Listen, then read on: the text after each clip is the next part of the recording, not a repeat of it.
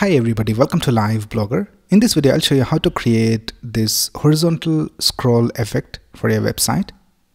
So here we can see that we have this header and if you scroll down, here we have this section and if you scroll down even more, we can see that it scrolls horizontally and after it displays all the sections over here, then it scrolls down.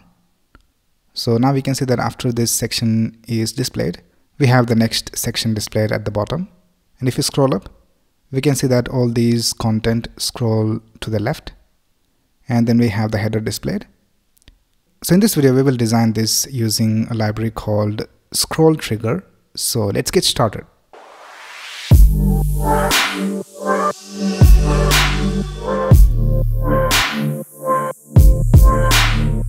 Right here I have created this folder called horizontal scroll and I just opened it with VS Code and I also have this folder called images where we have this image and uh, let's start by creating the necessary files.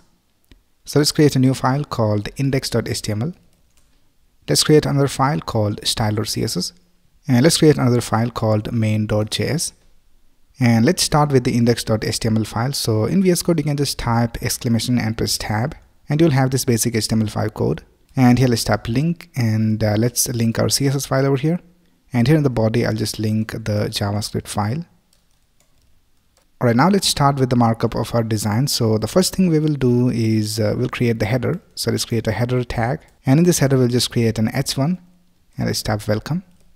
And after that we'll just create an img tag. And in the source I'll just tap images forward slash hero image.jpg and let's open this in our browser and let's see how it looks so I have this extension called live server installed in VS Code. So once you have this installed, you can just right click over here in the HTML file and click on open with live server. And here we can see that our content is displayed in the browser. Let's go back and let's continue adding the HTML. So after the header, we need to create another section and uh, let's give it an ID of horizontal and uh, in this we will have all these uh, sections. So we have content 1 content 2 content 3 and content 4 so let's create divisions with the class of content. And uh, here let's create a paragraph and I'll just have content 1 and I'll just copy this and paste it three more times. Now you can add any type of content over here. I'll just add this text. So I'll just have content 2 3 and 4 and then lastly let's go outside this section and let's create a footer. And uh, I'll just create an h2 and uh, let's type thanks for visiting. And let's create a paragraph and let's add some lorem ipsum text. Alright so that's basically it with the HTML now let's go ahead and style this using CSS so the first thing we will do is uh, we will target all the elements and uh, let's type box sizing border box so that all of them have the correct width and height. And let's target the body and uh, let's remove the default margin and padding. And uh, let's set the font family to inter and sans serif and now for the header let's give it a height of 500 pixels. And uh, now let's target the h1 so let's tap header h1 and for the h1 let's set the font size to 60 pixels. And let's set the text align to center. And the font weight to lighter. And uh, let's add a letter spacing of 4 pixels. And uh, let's set the margin to 0 and let's add a padding for top and bottom. And let's set it to 30 pixels. Right now let's style this image. So let's tap header img and for the image let's add a height of 100% and let's set the width to 100% and let's also set object fit to cover so that it has the correct proportions for the image. Right now let's style all this content divisions. So we can see that we have this uh, division with the class of content and it is inside this section with an id of horizontal. So let's type hash horizontal content and uh, let's set the height of the content to 100 viewport height and let's set the width to 100 viewport width. And here we can see that all the content divisions are displayed over here. Now we want all of them to be displayed one next to the other. So let's target the container which is horizontal. So let's tap horizontal. And let's set the display to flex. And now we can see that all this content are displayed one next to the other now let's continue styling this. So here let's set the display to grid and place items to the center. And uh, let's add different background colors to these content. So here let's tap horizontal. Content colon nth child 1 so this will select the first instance of content. And let's add a background color of EF EF EF and I'll just copy this and paste it three more times. And for the second one let's add a color of FB6C6C and for the third one let's add a color of 4FE191 and for the last one let's add a color of ACA3FF and here we need to change this to nth of child 2 3 and 4 and now we can say that we have different colors for each of this content. Now we don't want each of these content divisions to shrink.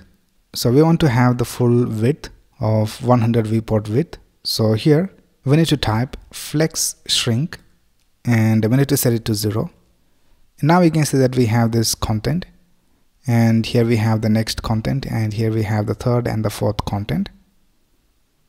So now let's go ahead and set the font size to 32 pixels and let's set the font weight to bold. And let's add a letter spacing of 4 pixels. And let's tap text transform to uppercase. And uh, it looks alright. Alright now let's style this footer. So let's tap footer. And uh, let's set the max width to 700 pixels. And let's set the margin left and right to auto and let's add a line height of 1.9 and this is how the footer looks. So I think with that we have completed styling this page. So we have all this content displayed over here. Now what we need to do is we need to disable this option of scrolling to the right. What we need to do is uh, when we scroll down this should scroll to the left automatically. So for that let's go back and uh, let's go to this horizontal division and here we need to type overflow x and we need to set it to hidden. And then now we can see that there is no option for us to scroll to the right. But we're going to add that option using the library called scroll trigger which is a plugin of GSAP so let's get the CDN so you can just Google for scroll trigger CDN and you'll find this website called gsap.com docs plugins scroll trigger. And here if you scroll down we have this sample code but uh, we need to get the CDN so let's go over here to installation and uh, let's go to CDN and uh, here we need to select this plugin called scroll trigger so let's click on that and if you scroll down here we have the code that we can copy. So let's copy this code from here and let's paste it inside our HTML file. So let's paste it right here. And now we will be able to use the GSAP library. So let's go to the main.js file. And first of all, we need to register the plugin. So let's type gsap dot register plugin. And here we need to type scroll trigger. And then we need to select all the content inside this horizontal division because uh, we need to add the horizontal scroll animation for that so let's type const and let's call all of that contents equals gsap dot utils dot array and here we need to add the selector. So the selector is horizontal content. And uh, now let's go ahead and type gsap dot to and here first of all we need to add the element which is contents. So let's type contents. And then we need to add an object. And uh, here we need to type the values for the animation. So first of all we need to type x percent. And uh, we need to set it to minus 100 times the number of content. So let's type contents dot length minus 1 right now let's go back to our website. And uh, I think we have some errors. So let's right click and go to inspect. And here we have this error. It says that gsap utils array is not a function. So let's go back. And uh, the problem is that we need to change this to to array.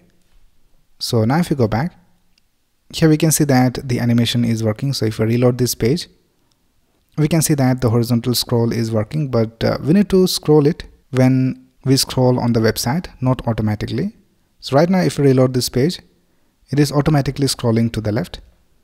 So we need to control the scrolling. So for that we will use this scroll trigger plugin. So let's tap scroll trigger. And let's add an object over here and uh, first of all we need to set the trigger. So let's tap trigger. And we need to provide the element over here. So the element is the section with an id of horizontal. So let's tap horizontal. And the next thing we need to do is we need to pin it. So when we scroll down and go to that section we need to pin the section to the screen till the animation is completed. So let's tap pin of true. And uh, then we need to go ahead and add one more option called scrub so this will make sure that when we scroll down or up it will control the animation. So let's set it to 1 and now if we go back here we can see that if we scroll down and if we scroll down again here we have the scroll animation working. So when we scroll up or down it will scroll to the left and right based on the scroll position. So everything is working all right. So that's basically how you can add this horizontal scroll effect to your website using gsap and scroll trigger. So here you can add any content you want. So that's basically it for this video. If you have any doubts you can ask in the comments below. And if you like this video please click on the like button and subscribe to this channel to get the latest video updates. Thanks a lot for watching. Have a nice day.